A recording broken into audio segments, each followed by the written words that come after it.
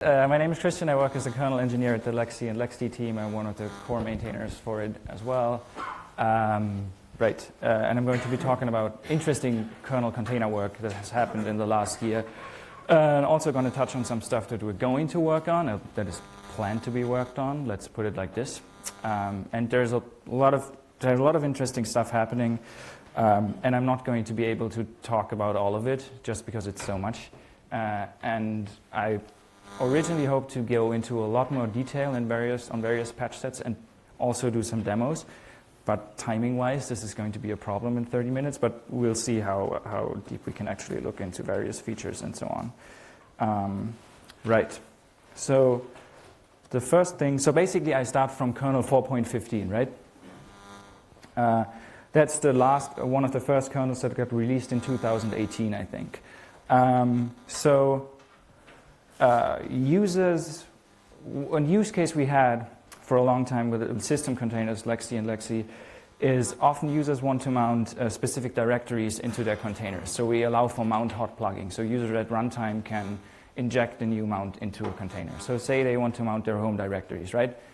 Um, and we run unprivileged containers by default which means you specify an ID mapping, and that ID mapping will usually block you from actually writing to the directory you just mounted into the container. And you probably don't want to chown recursively directory, uh, recursively through your home directory. So one of the solutions that users usually came up with and what we supported was um, punch a hole in the ID mapping. Basically say, uh, my own user ID, uh, which is 1000, I'm going to map this through. So the UID 1000 inside of the container is the exact same meaning as UID 1000 outside of the container. If you do that, you can write to your home directory.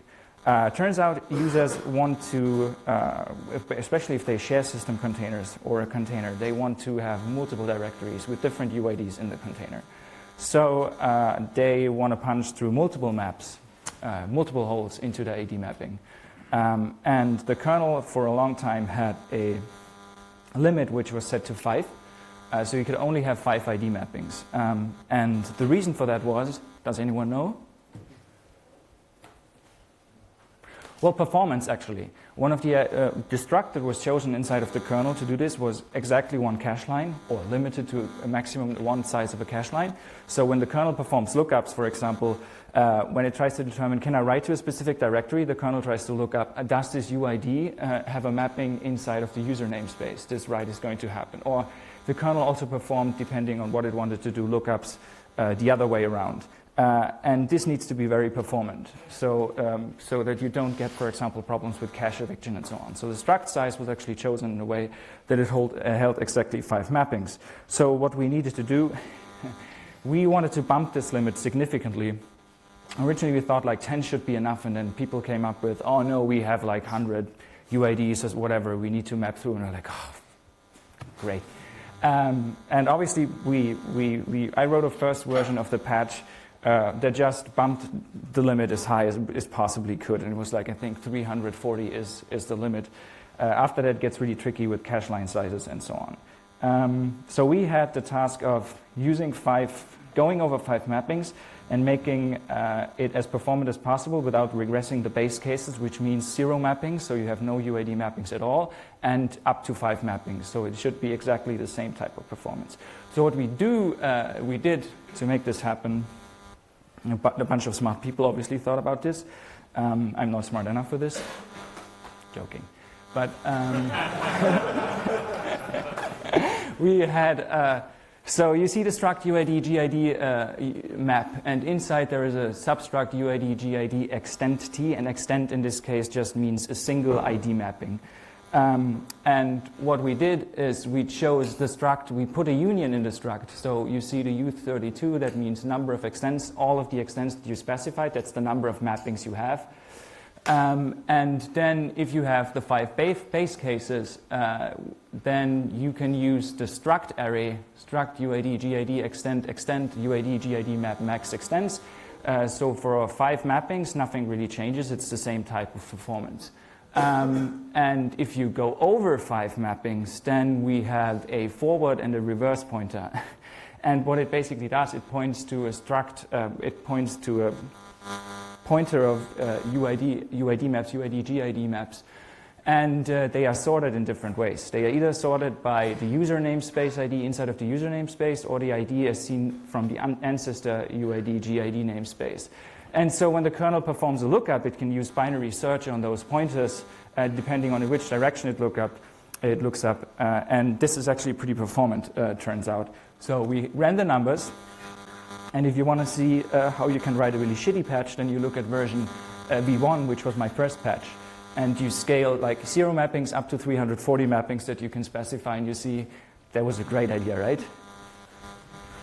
So the test that we performed is we created 1 million files um, and uh, made sure that they were in the cache, and then statted each of those files a bunch of times, and then calculated the mean, uh, uh, the mean stat time for each of those files. Uh, and here you can see what, what the mean stat time for, for uh, 1 million files is. Uh, it's 158 nanoseconds for zero mappings, which is the same for both patch sets. And then if you scale linearly, you end up with something like 2,760 nanoseconds when you go to 300, 300 mappings. And if the, uh, the algorithm we came up with in the end, the one you saw before, you end up with 248 nanoseconds. That's like not even 100 nanoseconds uh, that you get slapped with when you use 340 mappings. So that's pretty good. Um, so yeah, uh, this problem, we're still working on this problem to some extent because um, this is a stopgap measure. The correct solution would be something like ShiftFS, uh, which another team member of mine has, uh, has worked on. It's uh, in good shape. Well, it's actually ready. Um, sort of, right? Um, so once we have shift, ShiftFS, which I'm, not, which I'm not going to touch on now, this is all not going to be a problem anymore. But right now, if you need to map through specific UIDs and GIDs, this is the way to go, and you can do it up to 340 uh, mappings now. Um, right. I mean, this is something you probably have heard of, right? Uh, unprivileged mounts in user namespaces. Who has heard of this? Ah, a few at least have. Uh, this, is, this is a work that has been uh, going on for a long time. It has been done by a lot, a lot of people, a lot of different people, uh, spearheaded by Eric Biederman from Red Hat, and uh, Seth Forshee has done a lot of work uh, on my team on this as well. And this is like a multi-year effort. This is not just something that landed in one kernel. There's a lot of, oh, by the way, I should have mentioned this. These are all Git commit hashes you can use when I put up the slides to look the commits up in the Linux kernel tree, so you don't have to search through the whole tree for the commits that I'm actually talking about um, which you might find helpful or not. Um, and this is actually interesting work. You can mount a bunch of pseudo file system right now in user namespaces, right? You can mount devtmpfs, uh, uh, no, not devtmpfs. That's definitely not possible. devpts and uh, tmpfs uh, and a bunch of others. And these are interesting file systems. Well, file systems you need, but not really very interesting file systems. What users really actually care about is mounting proper block-based file system, right? So ext4, XFS, whatever it is. Um, and uh, this has been a long-standing request. The problem is you, well, you face problems on two fronts. Security in the VFS and security from the individual file system that you are talking about. So the first step that needed to happen is make the VFS itself safe uh, when mounting uh, file systems user namespaces. That included work like, for example, tracking the user namespace uh, the file system was mounted in, uh, in the superblock. Stuff like dealing with device node creation, uh, like for example, when you are able to mount the file system inside of a user namespace, uh, you immediately become privileged with respect to that file system, which means you can mknod in that file system all you want. Obviously, inside of user namespace, trivial attack you can come up with, mknod def kmem, if that's enabled in your kernel, and then write to random kernel memory, kernel crash. So that's probably not a good idea. So you need to come up with a way to actually block uh, um, unprivileged users from messing with your file system. Um, then there was a xattrs, unprivileged uh, file system attributes, extended attributes. Uh, this is work that has been done by Serge Hallyn to user namespace file system attributes, so you can use them uh, instead of user namespaces. Uh, but even if you go through all of that and you make the VFS itself safe, which is what all of these patches or most of these patches did, so from the VFS perspective, uh, it's fine now. Oh, does anyone, everybody know what the VFS is? Okay, good. Um, and uh, now you have an additional problem. The VFS might say it's totally fine from our perspective uh, you can go ahead uh, and run and mount file systems inside user namespaces. Now you have an additional problem that VFS security is independent of file system security. So a specific file system maintainer must be willing to essentially say, I can guarantee uh, that in the face of a corrupt file system image or in the face of a corrupt image, it's still totally fine uh, to mount this inside of a user namespace. The kernel is still safe. And that's a guarantee that I'm pretty sure not a lot of file system maintainers want to, uh, want to, actually, want to actually give which is reasonable. Um, because file systems actually were never, in, I, I, think, never designed with unprivileged uh, users in, in mind or user namespaces in mind. So the attack that I'm thinking of is essentially if you are able to mount a random image that somebody gives you inside of a user namespace and the, the one he corrupts, he or she corrupts the superblock, and then you mount it, kernel crash. So that's a huge attack surface. Um, the only file systems that really um, are possible to be mounted inside of user namespaces as of now is Fuse. That's a recent addition in 4.18. And there is talk about making it possible for overlayfs. Uh, there are patches for this, and, uh, but they haven't been upstreamed yet. And I don't know how comfortable the overlayfs maintainers at this point would feel with making overlayfs inside of user namespaces possible. But it's definitely one of those file systems that, that could be a good candidate. For the others, it's probably very, very unlikely that it's ever going to happen, to be honest. Um, I would conjecture. Uh, the kernel regression bit is kind of interesting. There's a basically we regressed user space with this at some point uh, by making mknod possible inside of user namespaces. Um, this is reverted now, and I don't have time to go into this, but yeah, there was an interesting uh, interesting thing that happened this year. Um, the next piece is something that Lennart always hates me for. Uh, no, joking. Um, so device management in Linux is split between user space and kernel space, right? So the kernel uh, actually on a, a, newer Linux kernel creates device nodes inside of devtmpfs. Uh, and UDEV triggers some bunch of rules to do static naming of devices and so on, all that kind of uh, stuff. and um, I don't know, this is FOSDEM. I'm aware allowed to swear, right? and uh, so uh, user namespace runs the UDEV daemon, exactly. So in the glue between these two, two events is essentially a U events, meaning uh, kernel creates a device node, uh, kernel sends out a U event, based on that U event, UDEV triggers and runs, uh, runs rules. Uh, one of the problems was for a long time, um, U events were broadcast into all, uh, into all network namespaces. They are tied to netlink, that's why they are tied to network namespaces, and they get yelled into all network namespaces. Um, the problem was the, the permissions these U events were sent out with, so the UID and GIDs, for example, were not fixed up relative to that user namespace, which basically meant that if you ran a thousand containers on your machine and uh, you had a, a, a, cache event, like from a, a kernel cache event, slab, slob, slub, they are, I think slub is at least, which triggers U events. So you get U events for that. Or you created C groups or whatever, you got U events. And they got sent into all, into all network namespaces without being usable because UDEV never saw them, even if you ran system containers in there with UDEV actually. Because it just ignores uh, events from UIDs and GIDs uh, that are not UID or GID zero, which was pretty fun. So the first step we did is we implemented U event namespacing saying only network namespaces that are owned by the initial user namespace are able to receive U events, and all of those that are not will not receive U events. But then we thought, hmm, actually there's a valid use case right now. What we allow you to do uh, with LXD, for example, and LXC is to inject devices into the container. You can inject USB devices and so on. Wouldn't it be cool if you could see U events inside of the container, run UDEV inside of the container, and then could trigger rules based on that? So what we did, and this is what U event injection means, is basically to allow you to forward U events uh, into a specific network namespace by adding a write method, if you wanted, if you want to call it like this, to the k object U event socket. Um, and so you can receive a U event on the host, you can strip the U event sequence number, you can relay it to the kernel. The kernel, kernel will append a new sequence number and make it visible inside of your unprivileged container, at which point UDEV will see the U event, and then you can trigger, for example, running your USB rules or whatever you have. LXC comes with this by default. It's actually, this has been a pretty nifty feature, actually. And at some point, if we think this is reasonable for other patch sets, we might enable it for them as well.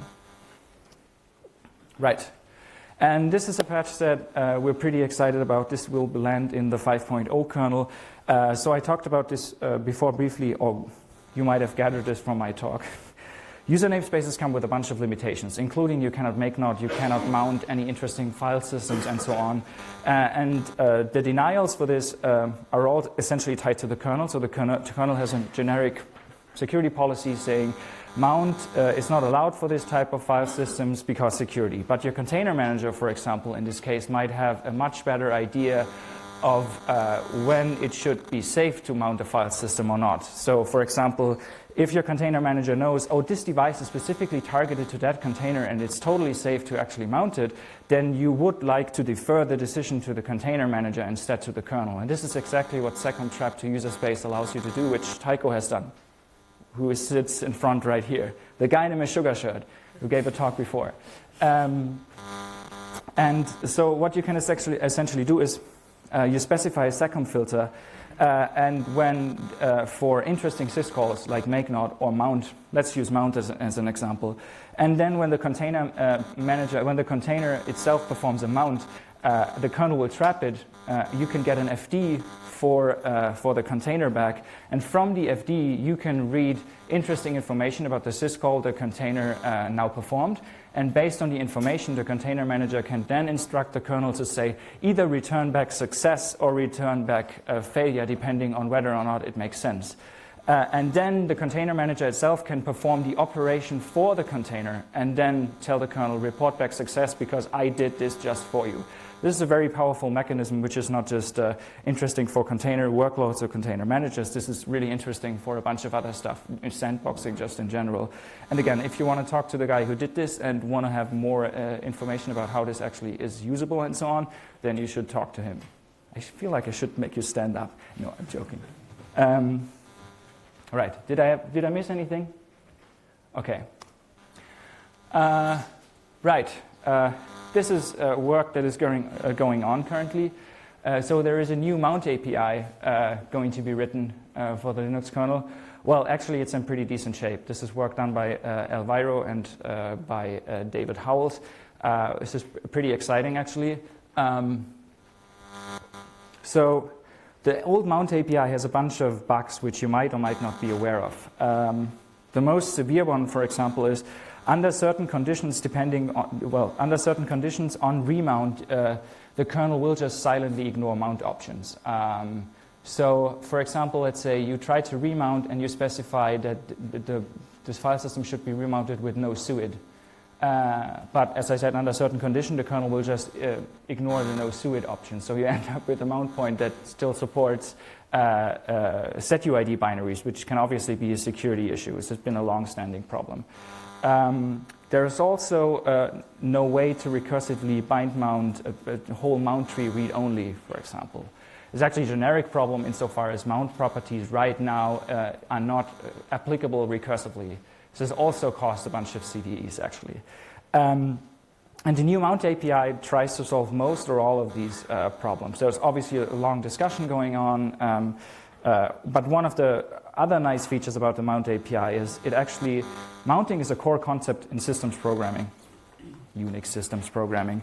And um, it, it's all done to one single syscall right now, which is just mount. And there's a bunch of mount options. There's a bunch of ways you can configure file systems and so on.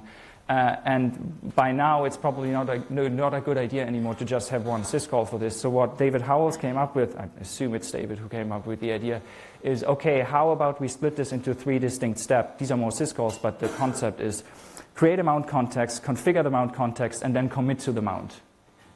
Which is very Unixy, right? Open, you get an FD, you perform operations on the FD, and then you close the FD. So you, it's the same kind of model, which is. Oh, I'm sorry. Yeah. Okay.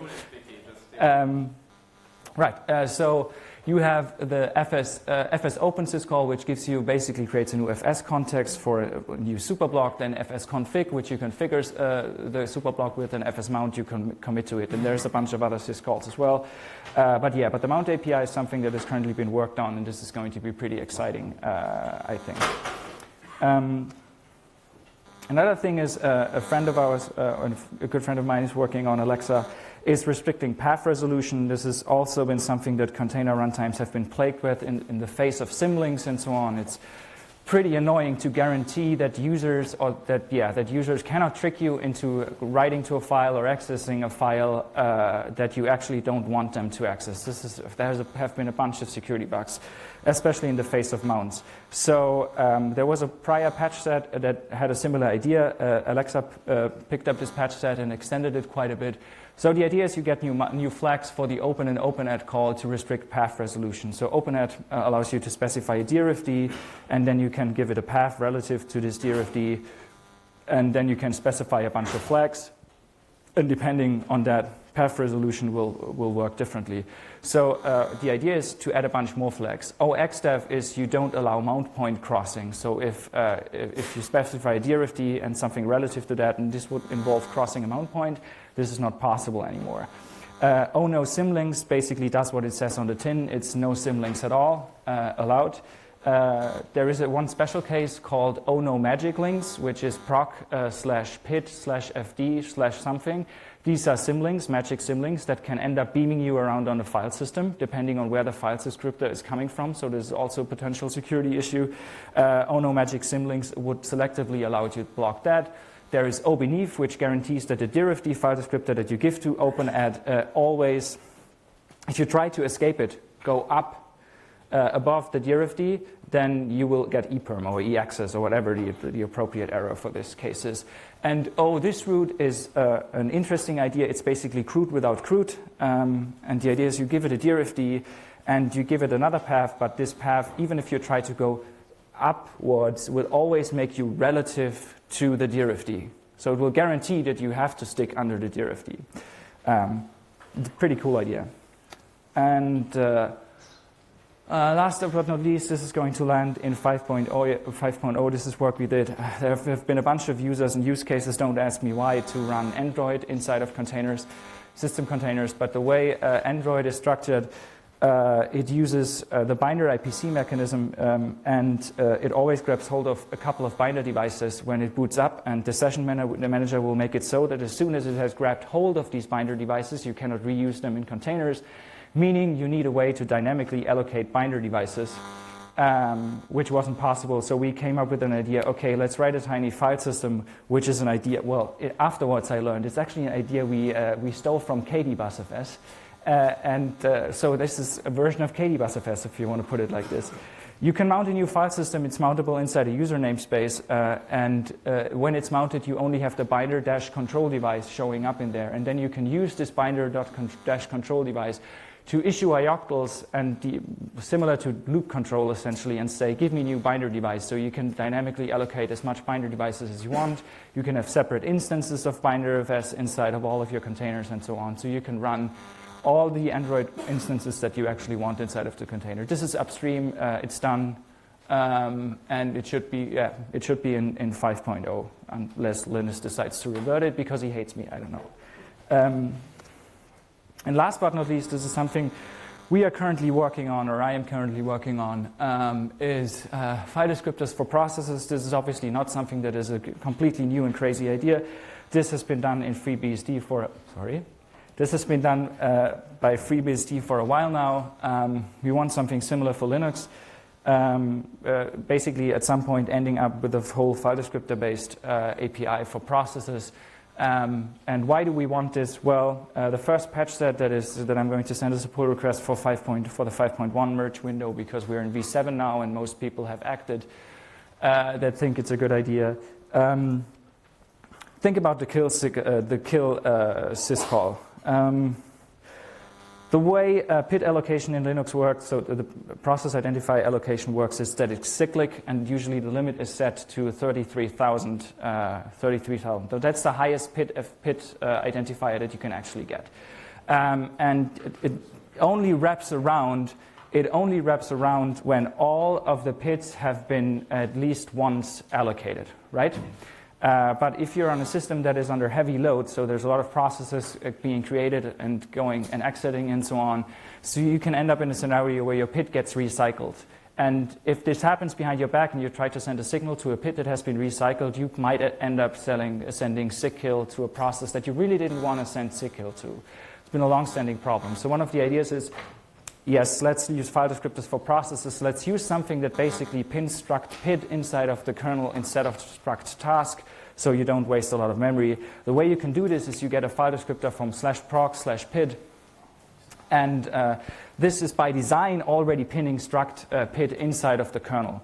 So what happens now is if you try to signal a process that has exited behind your back through this PIDFD, uh, you get no such process, which also means you can use the syscall to test for the existence of processes and so on. If you send it signal zero and you get uh, no such process back, you know that it has exited behind your back. If you get, if it succeeds, it's either a zombie or it's still alive.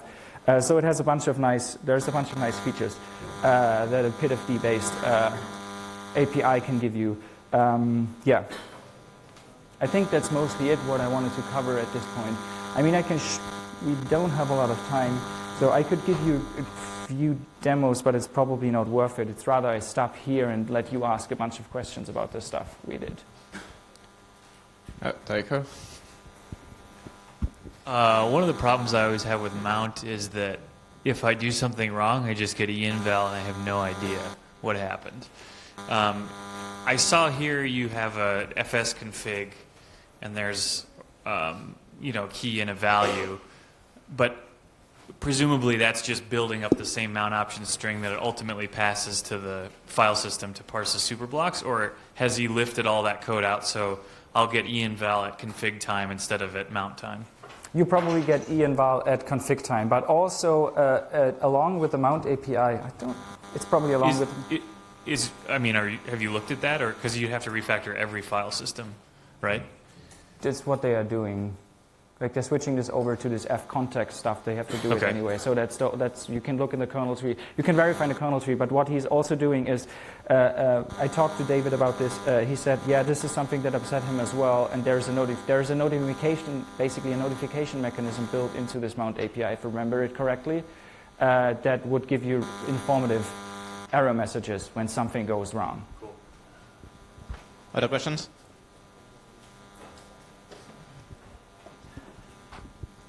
Can we expect something uh, like uh, audit logging inside the namespaces? Sorry, what?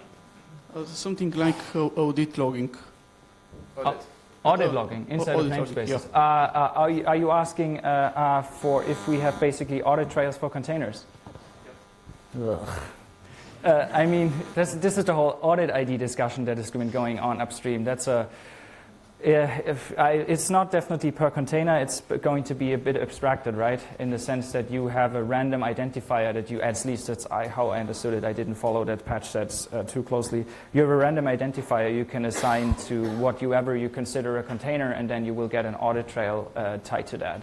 Uh, the problem is containers are not a kernel thing. It's basically just a user space thing. Also, again, David Howells would disagree. I have seen his patch set. He has added two syscalls as a proof of concept to basically make containers a kernel thing. Any other question? All right. Well, thank you.